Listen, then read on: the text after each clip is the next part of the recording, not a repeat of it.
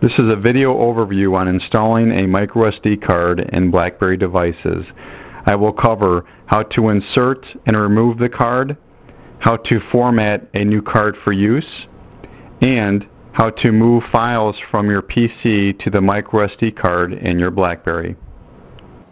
Okay, so I'm going to teach you how to take the microSD card out of the BlackBerry 8330 and uh, a lot of the Blackberries, the micro SD slot is actually sits behind the battery and some of the Blackberries um, have actually slide loading uh, micro SD slots. And um, other mobile phones also have side loading micro SD slots. But and for this uh, example in our BlackBerry 8330 what we're going to want to do is take the back cover off. We're going to remove the uh, BlackBerry battery.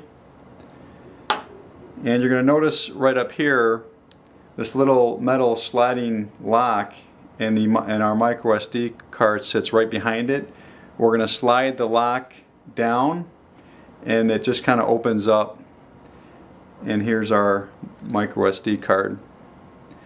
And we're going to put it back.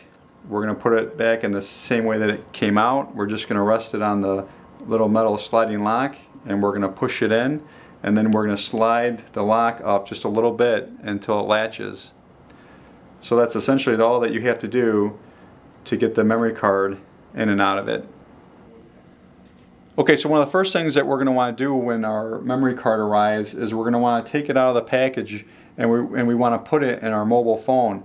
We want to format the card on our mobile phone and what formatting does is formatting will create a set of proprietary folders on, the, on the card that your BlackBerry or your other mobile phone will recognize to put stuff in.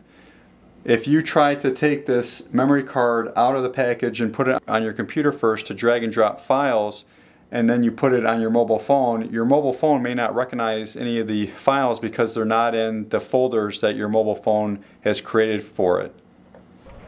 Okay, so now we're going to format the micro SD card on my BlackBerry 8330. So I'm going to click on my wrench icon, or, or you're going to look for a folder called Settings. It's going to take you to your Options menu. You're going to select Media Card. And you're going to see the screen. When you see the screen, hit your menu key. You're going to look for an option called Format Card. You're going to select this. And you're going to get this warning here and click Yes to proceed and we are done. We've successfully uh, completed the format of the micro SD card.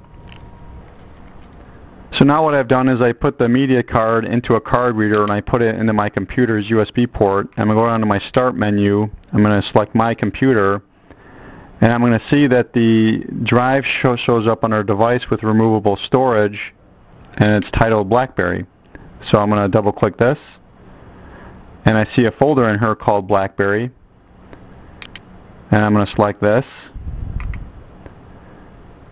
And now inside I see all my five folders and one's titled voice notes one's ringtones one's for pictures one's for videos and one's for my music so I've op opened up my pictures folder and I'm going to copy and paste a JPEG file from my desktop into my pictures folder